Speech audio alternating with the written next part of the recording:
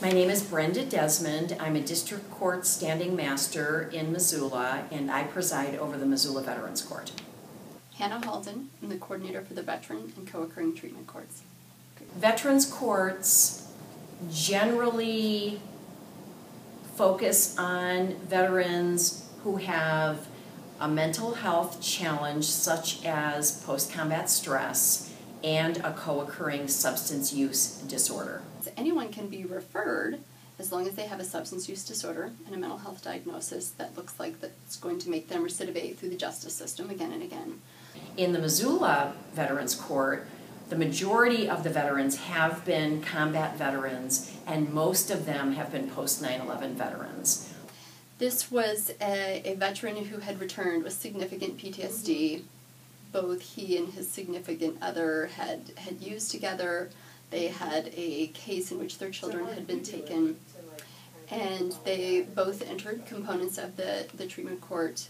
They got the children back, and the the father has just now the father um, he graduated i want to say about two years ago and we had a there was a very emotional graduation and he is now um, in recovery long enough that he has been hired as a peer support okay. and so now he gets to go out and do mentoring peer work for other veterans who are reentering, you know, from either the criminal justice system um, through treatment and kind of trying to reintegrate into the community. So he's doing amazing.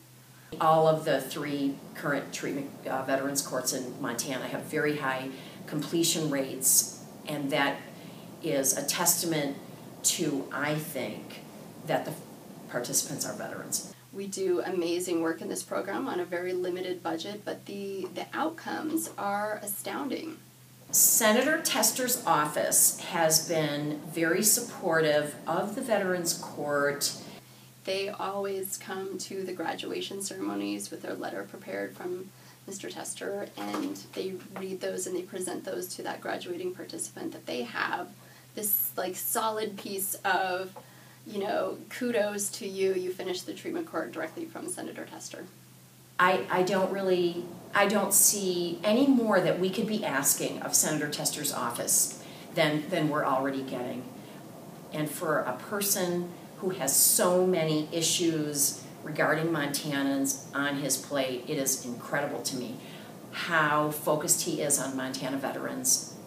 We all know we have a very high number of veterans. Nonetheless, for him to have taken a na national leadership position on veterans is wonderful for veterans in Montana.